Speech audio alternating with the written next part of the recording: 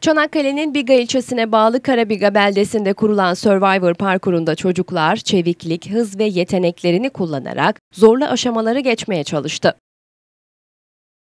Karabiga Belediyesi'nin sahil hattında kurduğu Survivor parkuruna çocuklar yoğun ilgi gösterdi.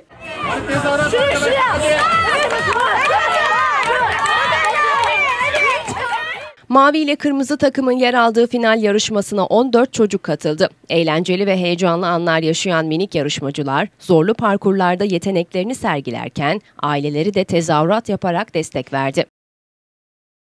Karabiga Belediye Başkanı Ahmet Elbi basın mensuplarına yaptığı açıklamada Çanakkale bölgesinde sadece Karabiga beldesinde olan Survivor parkurunu hizmete açtıklarını söyledi. Yarışmalarımız çok çetin geçiyor, çekişmeli geçiyor. Bugün de All Star yapacağız. Finale geldik. Yarışan çocuklarımızdan da bir tane Karabiga Survivor'u çıkmış olacak. Ödülümüzü de çocuklarımıza söyledik. Heyecan daha artsın diye. Çok güzel bir yarışma çık- çıkıyor. Cumartesi günü de e, parkurumuzda aynı zamanda yetişkinlere de hitap edecek şekilde profesyonel Survivor parkurumuz var.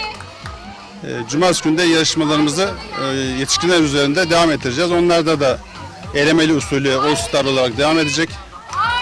Dediğimiz gibi Çanakkale bölgesinde ilk ve tek Karabiga Belediyesi olarak bunu başardık ve geleneksel hale getireceğiz. Survivor yarışmasına katılan çocuklar da çok eğlendiklerini ifade etti. Parkur çok eğlenceli, çok eğleniyoruz. Hem yaz güzel vaktimiz gidiyor burada hem de belediye başkanımız sayesinde eee, zorlukları aşıyoruz.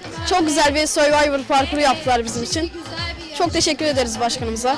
Ve Çanakkale'de eee, ilk yani Çanakkale'de olmayan bir Survivor parkuru yapıldı buraya. Çok güzeldi. Gerçekten çok eğlenceli. Nefes nefese kaldım. Gerçekten çok eğlenceli. Yuvarlaklar, daireler birazcık zor. Ve çamur far, çamur çukuru birazcık zor. Ee, diğer yerleri kolay bir de atışlar. Gerçekten çok güzel. Başkanımıza çok teşekkür ederiz.